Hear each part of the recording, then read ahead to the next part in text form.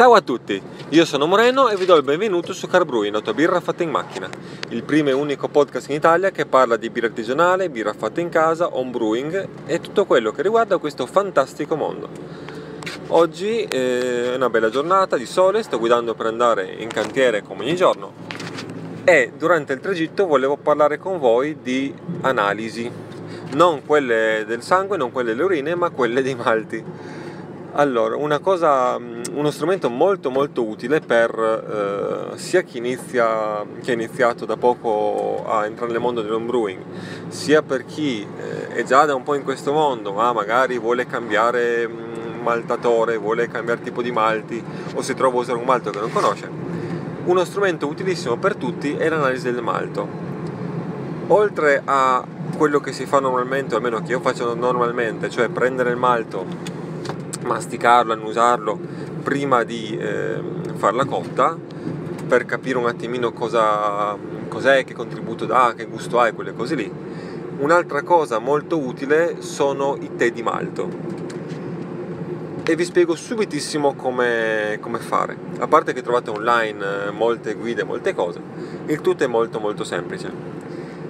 Partiamo con eh, la base, cioè 50 grammi di malto in 450 ml di acqua.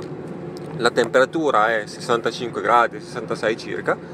quindi facciamo uno, uno steep, uno steeping, come se facessimo il PG praticamente. Prendete il malto base, lo, lo mm, macinate molto fine e lo mettete dentro un termos, un contenitore con l'acqua calda appunto. Mescolate per un 20 secondi e lasciateli riposare per circa 15-20 minuti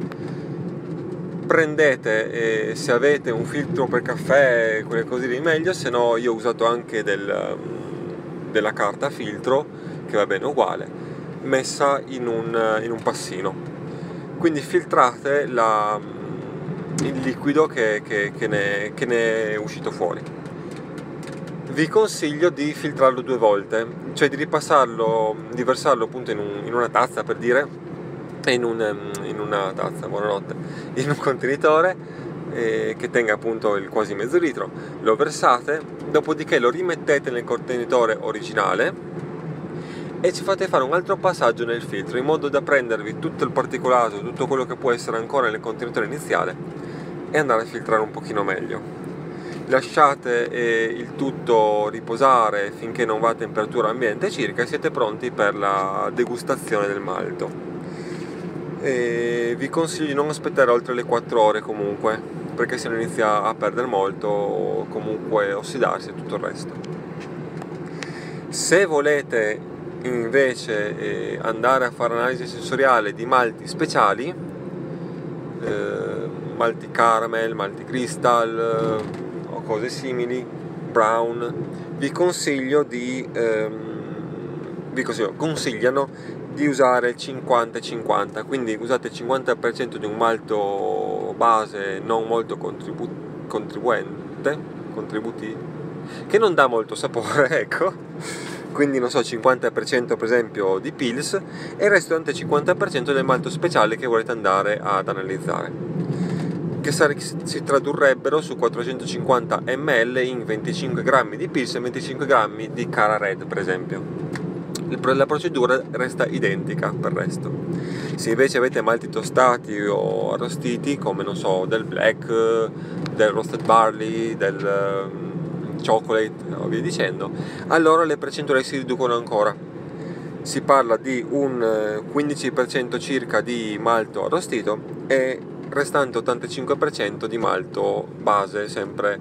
eh, Pils per esempio. Dai che quello che, che, che conviene usare secondo me perché è quello che dà meno contributo. E nel caso di prima su 450 ml si traduce in 42 grammi e mezzo di pis e 7 grammi e mezzo di cioccoli per dire oppure quello che volete. È una cosa molto figa perché potete fare sia per esempio per vedere le differenze non so tra il eh, malto pilsner della Dingeman e il malto pilsner della Best Malz oppure tra un um, biscuit e un uh, Victory che comunque non sono simili cioè non sono uguali ma sono magari a volte eh, dati come sostituti nelle varie ricette. Quindi se avete eh, possibilità di vedere cosa fa uno, cosa fa l'altro, diventa molto molto interessante secondo me. Niente, concludo questa, mm, questa chiacchierata odierna e vi ricordo che ci sono centinaia di puntate ad attendervi, se non le avete ascoltate tutte andate ad ascoltarle e le trovate sui soliti media che sono YouTube, SoundCloud, iTunes, Spotify, Google Podcast oppure comunicate i vostri pensieri, quello che volete a Daniele a carbrewing.gmail.com perché questo non è un monologo ma un dialogo. Vi saluto, vi auguro una buona giornata e ciao ciao!